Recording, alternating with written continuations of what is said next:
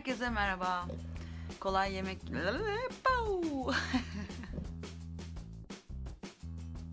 Herkese merhaba kanalıma hoş geldiniz. Bugün yine anlayacağınız üzere bahçeden tariflerle yine sizlerle olacağım. Ee, mercimek çorbası yapmak istiyorum. Aklımda bir patates var onu yapmak istiyorum. Bu sebeple e, Hera ile birlikte Migros'a gidip patates nişastası alıp geldik. Çünkü tarif için o lazımdı. Ee, eve geldik. Yağmur başladı. Yağmurun bitmesini bekledik. Yağmur bitti. Yaz yağmuru gibi değildi. Baya bir uzun sürdü. Şimdi yine e, her zamanki gibi Hera ile birlikte arka bahçeye gideceğiz. Kabımı aldım. Patates çıkartacağız. Patates dikmiştik. E, patatesleri çıkartacağım. Çünkü hem e, mercimek çorbası için hem de e, yapacağım o patates tarifi için patates lazım. Çünkü akşam yemeğini şöyle bir menü düşündüm. E, mercimek çorbası. Ha, hava böyle yağmur olunca biraz kapatınca arkadaşlar hani böyle sanki hafif bir esinti oldu. Çorba yakışır diye düşündüm. Bu sebeple e, hem bak sen artık kızım Suyun yok mu içeride? He? Bu sebeple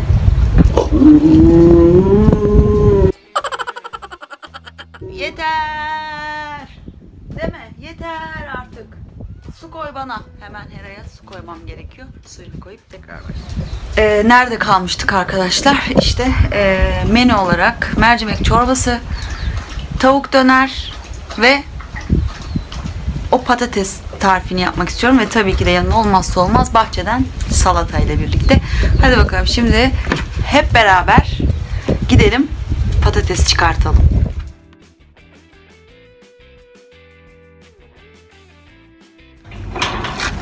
Bildiğiniz gibi patates çıkartmam için e, bir çapaya ya da böyle kesere ihtiyacım var. Çünkü patatesler çok içte oluyorlar. Bu sebeple eşimin hobi odasına yani ardiyesine girdim. Gördüğünüz gibi ve e, patatesleri çıkarmak için şöyle küçüğünden bir e, keser vardı. O nerede acaba? Çapa çok büyük olacak. Çapa, belek, tırmık vesaire burada hatta balyoz bile var. Ama bunlar benim işime yaramıyor arkadaşlar. Daha böyle küçük bir şey lazım. Benim her zamanki keserim burada yok. Nerede o zaman? Hemen bulmam lazım onu. Kürek de olmaz. Orada da bırakmış olabilirim. Şimdi şimdi bahçeye gidip bakmak istiyorum. Hera kuzusu, Hera kuzusu. Bakalım bırakmışım zaten. Ee, hemen burada bırakmışım. Yağmur da yağınca, toprak da yumuşayınca şimdi patateslerim çok güzel çıkacak. Ee, yormayacak beni. Evet. Çıkartalım bakalım patateslerimizi. Patatesler bunların altında şöyle bir kökleyelim. Hop hop hop hop bakın. Patates arkadaşlar. Ve kocaman patates. Kızım dur. Evet dur. Çok güzel olmuş. Bir de böyle minnakları var. Kızım dur bir koklama. Böyle minnakları var. Hemen koyalım. Hera da bunları top zannediyor. Sanırım. Bakın işte taze taze patates. Birazcık çıkartalım. Oy oy patatesin güzelliğine. Bakın. Artık bu iyice büyümüş.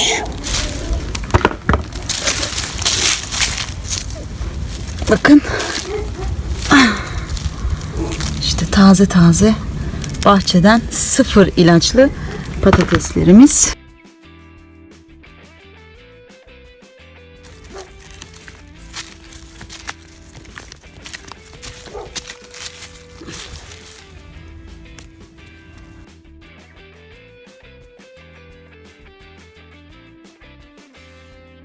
Zannediyorum bu kadar patates yeter. Hatta artar bile. Bakın. İşte taze taze. Buralara kadar gelmişken e, birazcık da domates toplamak istiyorum. Çünkü salata da yapmak istiyorum ve ayrıyetten biber de toplamak istiyorum. Birazcık da hadi hep birlikte domates toplayalım, biber toplayalım, salatalık toplayalım arkadaşlar.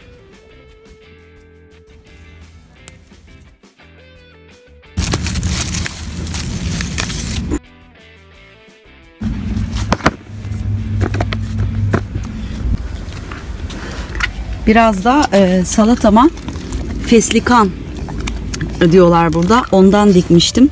Yapraklarından koymak istiyorum. Çok güzel aromatik bir tat veriyor. E, fesleğen değil bu. Feslikan diyorlar. E, şöyle 3 yaprak bile bir salata için yeterli. Mis gibi kokusu var ve acayip aromatik. Biraz da bundan koymak istiyorum. Bunlar da çeriler. Çok var. Biraz da çeri toplayalım.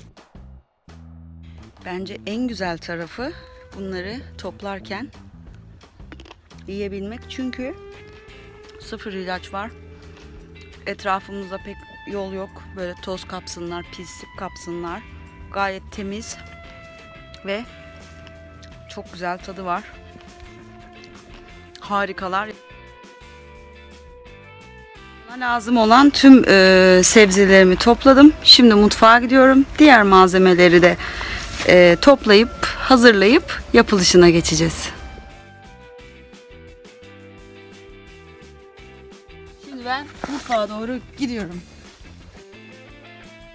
Gibi patates çok çamurlu bir iş. O yüzden dışarıdaki lavaboda ellerimi yıkamak istiyorum. Çamuru buraya aksın.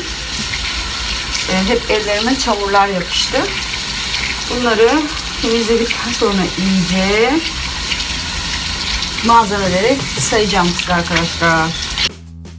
Aslında eldiven kullanmam gerekiyordu ama e, Ardiye'den eldiveni almayı unuttum. Hatta şimdi aklıma geldi. E, Ardiye'nin kapısını da kapatmayı unuttum. Bir koşu kapatıp gelmem lazım.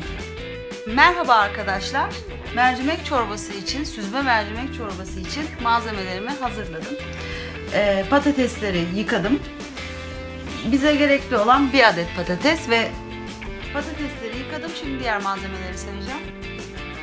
Limonunu unuttum bu arada.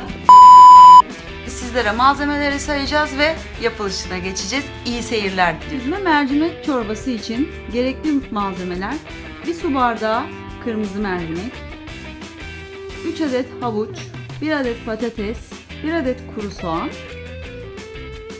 üzerine geçecek kadar su, bir çorba bir tepeleme çorba kaşığı un, bir çorba kaşığı tereyağı terbiyesini yapmak için bir çorba kaşığı tereyağı üzerine baharatlarla birlikte dökmek için arzuya göre tabii ki de bu. Ve baharatlarımız pul biber, kırmızı toz biber, kekik, karabiber, tuz. Ayrıca dilerseniz içerisine kapya biber de koyabilirsiniz. Bu içi, içerisindeki sebze oranlarını arttırabilirsiniz. 2 adet soğan, 2 adet patates, 5 adet havuç koyabilirsiniz. Şimdi yapılışına geçiyoruz. Öncelikle mercimeklerimizi güzelce yıkayıp süzüyoruz. Güzelce yıkayıp süzmüş olduğumuz mercimekleri çorbayı pişireceğimiz tencerenin içerisine döküyoruz. Kuru soğanın kabuklarını soyuyoruz. Kabuklarını soymuş olduğumuz ve yıkamış olduğumuz kuru soğanı yine aynı tencerenin içerisine şu şekilde bölüyoruz. Parçalara ayırıyoruz ve doğruyoruz. Yıkamış ve kabuğunu soymuş olduğumuz patatesi de aynı kuru soğan gibi 3-4 parçaya bölüyoruz. Ve tencerenin içerisine atıyoruz. Yıkamış ve kabuklarını soymuş olduğumuz Havuçları da yine aynı tencerenin içerisine doğruyoruz. Üzerine geçecek kadar su ekliyoruz.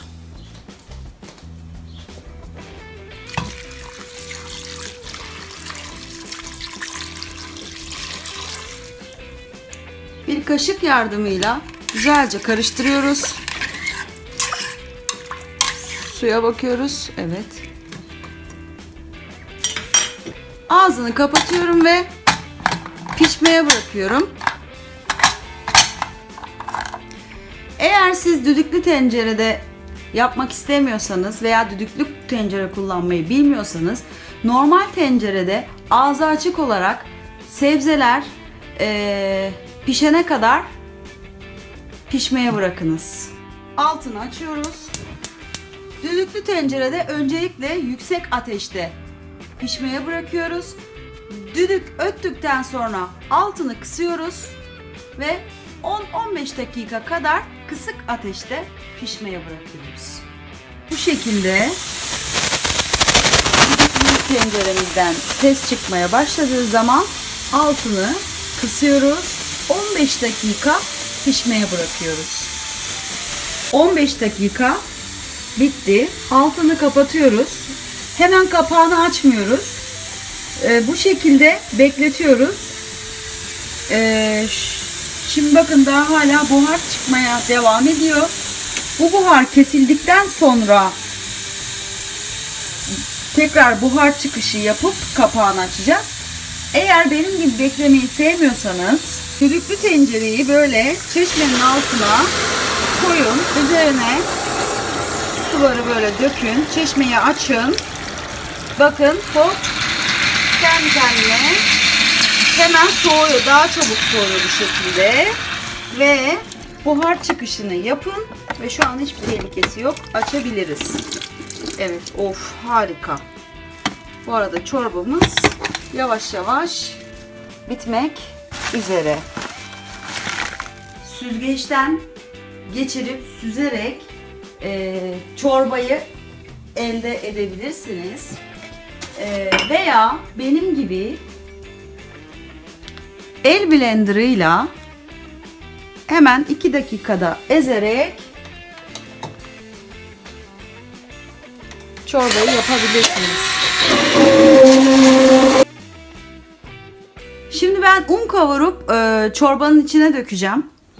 Eğer siz e, unlu istemiyorsanız bu aşamada da çorbamız hazır. Bakın kıvamı gayet güzel. Ben o yanık un tadını seviyorum. Bana et tadı gibi geliyor.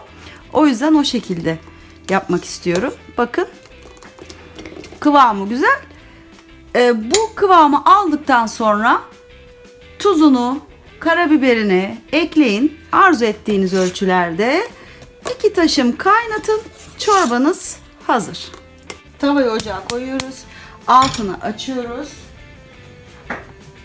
Bir çorba kaşığı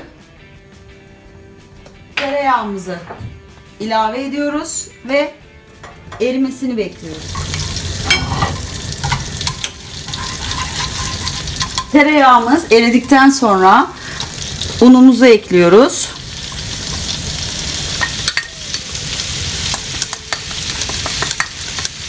Güzelce kavuruyoruz. Unun kokusu çıkana kadar sürekli karıştırarak kavurmaya devam ediyoruz. Ve birazcık da esmer bir renk almasını sağlıyoruz fakat yakmıyoruz. Şöyle karamelize bir renk alması gerekiyor. Şu beyazlığı çıkması gerekiyor onun. Bakın yavaş yavaş rengi dönmeye başladı. Yavaş yavaş rengi dönmeye başladı. Burada birazcık daha hızlı karıştırıyoruz ki yanmasın. İyice karıştırıyorum ve altını kapatıyorum çünkü hala daha pişmeye devam edecektir. Bırakmıyorum altını kapattıktan sonra da.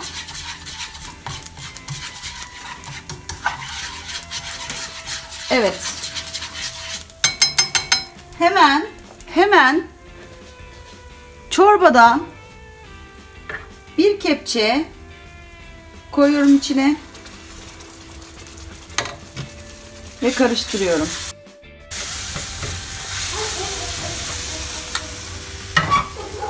Daha sonra ocağın altını tekrar açıyorum. Bu karışımı bunun içine, çorbanın içine tekrar döküyorum unla beraber. Ve güzelce karıştırıyorum. Arzu ettiğiniz kadar tuz, karabiber ilave ediyorum. Ve topaklaşmaması için telle sürekli karıştırıyorum. İyice karıştırdım. Ve şimdi iki taşım kaynamaya bırakıyorum. Çorbamız kaynarken sos tenceresinin içerisine tereyağını koyuyoruz ve erimeye bırakıyoruz.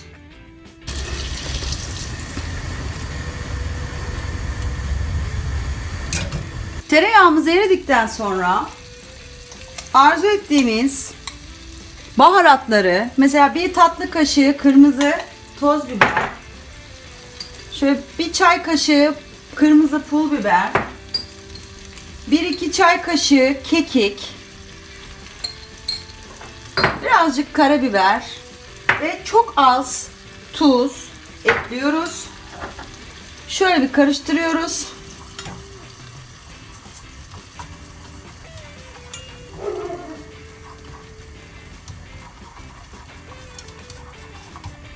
Köpük köpük olana kadar bu şekilde bırakıyoruz. Bakın köpük köpük oldu. Altını kapatıyorum. Bu arada çorbamız da hazır. Bu arada çorbamız da hazır. Bir iki taşım kaynadı. Altını kıstım ben. Şöyle bir karıştırdım. Tekrar çorba tabağımıza çorbamızı koyacağız. Ee, burada da sizle, sizlerle bir şey paylaşmak istiyorum. Yemekleri e, koyarken bildiğiniz gibi kenarlarına damlayabiliyor. Bunu engellemek için bakın çok kolay bir yöntem var. Çorbamı alıyorum. Alttan akıyor ya şöyle üzerine bir iki değdiriyorum ve akmıyor. Direkt ortasına koyuyorum. Tekrar göstereyim. Bakın. Bir, işte bir kere iki kere değdirdiniz mi o altta kalıyor zaten. Yani şu şekilde sıyırmanıza bile gerek yok. Şöyle bakın direkt kalıyor. Evet çorbamızı koydum.